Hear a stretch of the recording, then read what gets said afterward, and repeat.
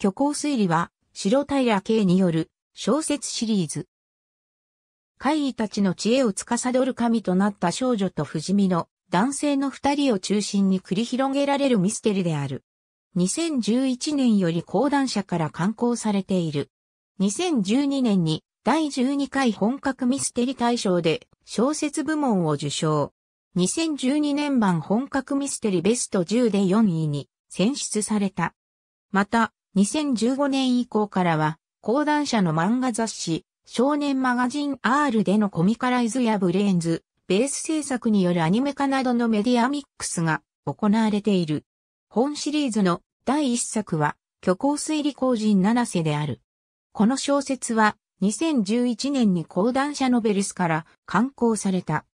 その後、2015年に講談社が少年マガジン R を創刊するにあたり、同誌でコミカライズが掲載されることが発表され、創刊号から連載がスタートした。コミカライズは、片瀬茶芝が担当しており、片瀬は本作で漫画家デビューを果たした。2017年、虚構推理工人、七瀬のコミカライズが完結する。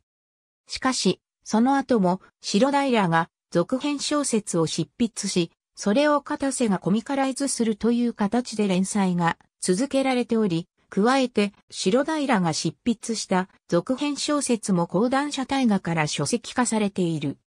なお、虚構推理工人七瀬では、清原博がカバーイラストを手掛けているが、講談社大河から刊行された書籍では片瀬がイラストを担当している。本シリーズの主人公、岩永こと子は、貝絡みのトラブルを解決する日々を送っていた。ある日、こと子のもとに会議から相談が持ち込まれる。それは、枕坂市という地方都市で、公人七瀬と呼ばれる会議が暴れているので対処して欲しいというものだった。ことこは、新、倉坂市に赴き、現地で出会った弓、原崎という警官に協力を要請する。同じ頃、ことこの恋人、桜川九郎は、突如消息を絶った重視の六花を探す途中、枕坂市に立ち寄り、そこで、鋼人七瀬と遭遇する。苦労は、鋼人七瀬と戦うが、鋼人七瀬を退治することはできなかった。その現場を目撃したことこと先は、苦労と合流し、三人で、鋼人七瀬を退治する策を練り始める。一方、鋼人七瀬は力を増していき、先の同僚を殺害するに至る。インターネット上には、鋼人七瀬のまとめサイトがあり、殺人事件を受けて書き込みが多数寄せられていた。ことこは、六花がこのサイトを管理しており、サイトの閲覧者の想像力を膨らませることで、鋼人七瀬を実体化させたのだと気づく。そして、四つの虚構の推理をまとめ、サイトで披露し、公人七瀬は実在しないと閲覧者に思わせることで、鋼人七瀬を消滅に導く。恋の項はテレビアニメ版における声優。本シリーズは虚構をテーマとしており、事件の真実よりもどうやって人々を納得させるかに重きが置かれている。白平は、右月物語の邪唱の因を読んで、価値観や理屈がねじれて歪んでいても、なぜかすべてが収まるべきところに収まって世界がうまく成立していると見える。けれど何かおかしいと感じたといい、そこから本シリーズの着想を得たと述べている。しかし、シリーズ第一作の虚構推理工人七瀬は、妖怪や幽霊が当たり前に実在し、孫うことなき事件の真相をすっかり明らかにした後で、4種類の嘘の解決をあらかじめ嘘と断った上で並べるという内容から、果たしてミステリと呼べるのかという議論を巻き起こすことになった。2015年から虚構推理のタイトルで、少年マガジン R で、片瀬茶芝によるコミカライズが連載されている。物語の流れは原作と基本的には同じだが、アレンジも加えられている。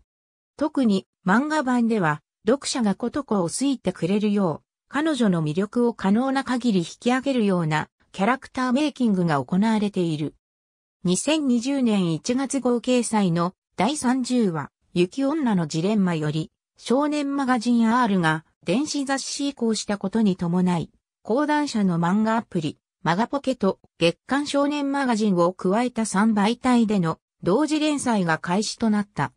2018年第42回講談社漫画賞にノミネートされる。2019年4月時点で累計発行部数は300万部を突破している。なお、第8巻から第10巻、第15巻では通常版に加えて、特装版、限定版がリリースされている。第8巻、第15巻の特装版には、カラー画集、第9巻の限定版には2019年のカレンダー、第10巻の限定版には、イエスノー枕がそれぞれ同梱されている。2019年1月に漫画版のテレビアニメ化が発表された。第1期は虚構推理のタイトルで2020年1月から3月までテレビ朝日 BS 日テレ他にて放送された。原作の長編虚構推理工人七瀬をメインにプロローグと本編の間に短編集より主のオロチは聞いていたを挿入した構成となっている。2020年11月には第2期の制作が発表された。岩永琴子役の鬼頭あかりによるウェブラジオ、虚構推理虚構ラジオが2021年4月2日より超 A&G にて毎月第1金曜17時に配信。更新の翌日には虚構推理公式 YouTube チャンネルでアーカイブ配信する。以下の出展は講談社ブッククラブ内のページ。小説の発売日の出展としている。以下の出展は、講談社コミックプラス内のページ。漫画の発売日の出展としている。ありがとうございます。